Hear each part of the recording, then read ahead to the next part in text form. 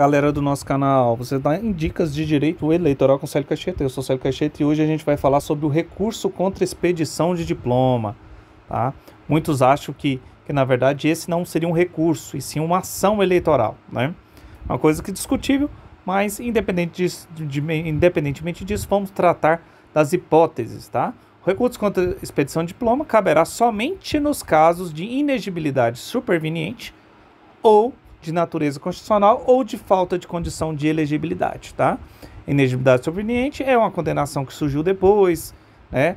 As de natureza constitucional, por exemplo, seria, por exemplo, o candidato ser analfabeto, tá? Ou falta de alguma das condições de elegibilidade, beleza?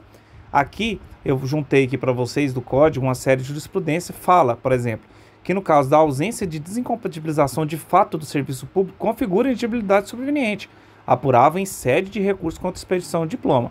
Então, esse é um, é um, é um, é um acórdão de 2019, é bem recente. Então, se descobrir que, o, ele, que o, a pessoa não é, afastou é, do serviço público, é, de fato, né, apenas fez o pedido e continuou trabalhando, dá sim para fazer esse recurso contra expedição de diploma.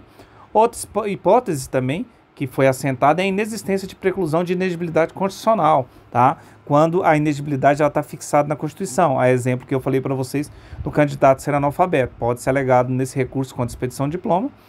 A condenação também pode acontecer na condenação criminal transitada em julgado após o pleito e antes da diplomação.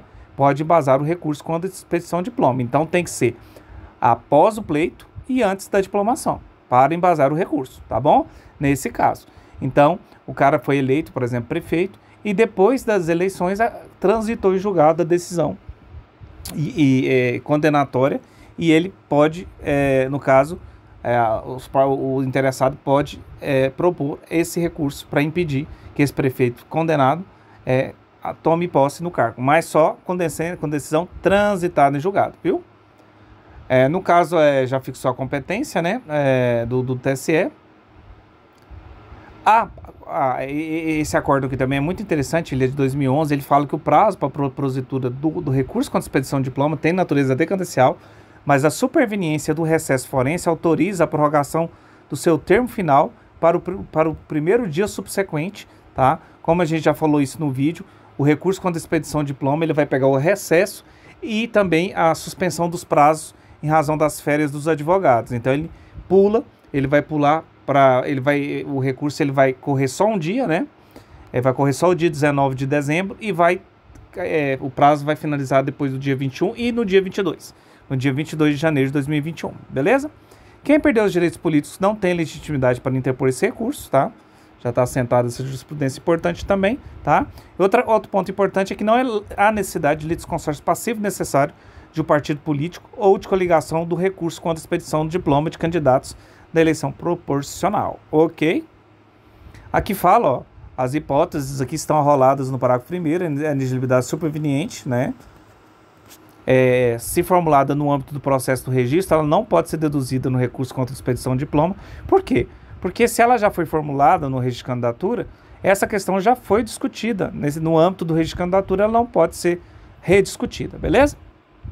a inegibilidade superveniente apta a, apta a viabilizar o recurso contra a expedição de diploma decorrente de alterações fáticas ou jurídicas deverá ocorrer até a data fixada para que os partidos e coligações apresentem seus requerimentos de registro de candidatos. Tá? O recurso que trata este artigo deverá ser interposto três dias após o último dia fixado para a diplomação e será suspenso do período compreendido entre os dias 20 de dezembro a 20 de janeiro a partir do qual retomará seu cômputo. Então, o que, que significa? O último prazo para diplomação é dia 18 de dezembro, corre dia 19 um dia e volta a correr no dia 21 e 22. Beleza? Então, é, é, você pode ver aqui ó, que a, a reforma de 2013 tirou várias hipóteses do recurso contra expedição de diploma, o que tornou essa ação um pouco mais rara, né? Porque é muito difícil essas, é, essas hipóteses que eu falei aqui surgirem, né, de, de, de inegibilidade supervivente, porque todo mundo fica de olho, né? Mas pode acontecer, né? Mas com a quantidade de recursos que a gente, o, as partes têm hoje, é, é muito difícil ele deixar essa, essa, esse trânsito em julgado dessa condenação aqui. Né? E, geralmente o pessoal toma posse e fica dois até três anos no, no, no cargo, tá bom?